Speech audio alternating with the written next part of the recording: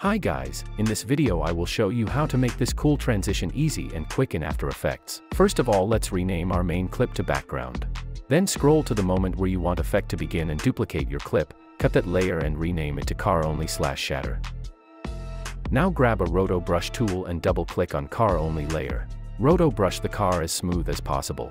Once you are happy with it, click on freeze button. As the freezing is done, go back to composition. Now solo car only layer and let's add shatter effect on it.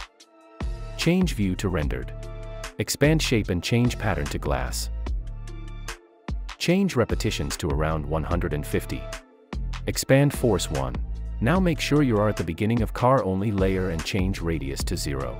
Click on radius stopwatch icon now. Scroll a few frames forward and change radius to 0.4. Expand physics now and change gravity inclination to 50. Now scroll to very end of car only layer and play around with gravity until it looks cool. If you want glass shatters to go all the way down set high values, I will set it to 30. Let's unsolo car only layer now and then duplicate it. Select bottom one and rename it to clean. Delete shatter effect on clean layer and solo clean layer now, then grab a roto brush tool and double click on clean layer. Make sure to unfreeze it and then select invert foreground slash background and then freeze it again.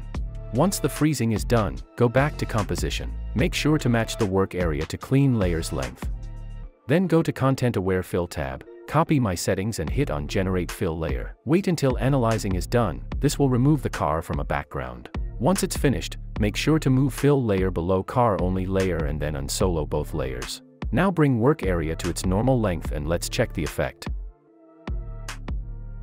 Lastly we can add shake effect, I will skip that part cause I have already made a shake tutorials. Also I have created 16 unique shake presets that you can get from the link in description. Check how it looks like with my shake preset. Hope this video was helpful. Thanks for watching and like the video please.